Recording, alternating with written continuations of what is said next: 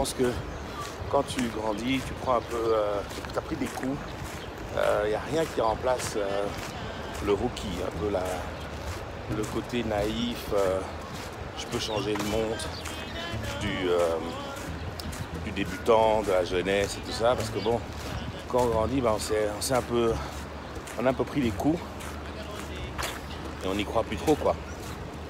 Euh, voilà, où on a l'impression que bon, euh, euh, on veut faire un truc, on, on connaît déjà la réponse, alors finalement on ne le fait pas, alors on n'ose pas. Alors qu'en fait, c'est là qu'est le secret. Le secret, c'est le fait de toujours commencer à oser. Moi, j'essaye, moi, j'essaye d'aborder chaque chose comme si j'étais un enfant.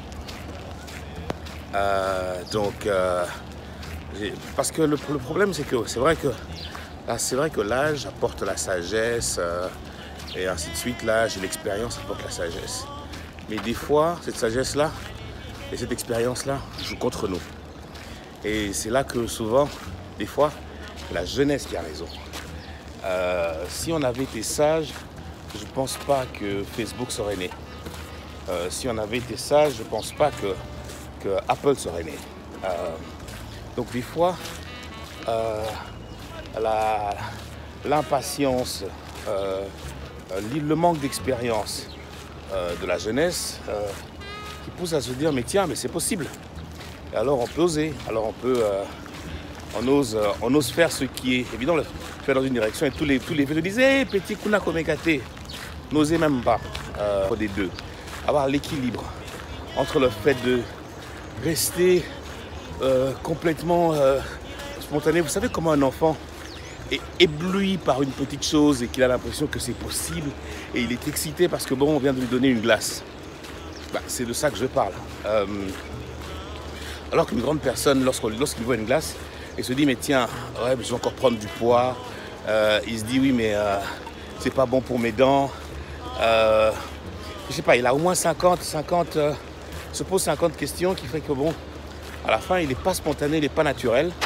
Et peut-être que bon, il va rater la meilleure glace au monde. Euh, c'est, un peu cette philosophie que j'essaie d'appliquer, appliquer euh, pour moi-même. Euh, je dis souvent que parfois je choisis d'être naïf. Parce que trop connaître, trop savoir, tue la spontanéité, tue le plaisir, tue les choses. Et ben voilà quoi, quelqu'un vient, voilà quoi, on, a- on accepte d'être un peu naïf, de, de regarder les choses, les choses simplement. Parce que les choses ne sont pas toujours compliquées. Et je crois que parfois cette spontanéité, parfois cette, euh, euh, ce côté naturel, euh, ce côté, ce regard, ce regard enfantin, nous permet parfois de voir des opportunités que les vieux ne verront pas. Donc ne vous fiez pas ma barbe. à l'intérieur, j'ai 15 ans. Ciao.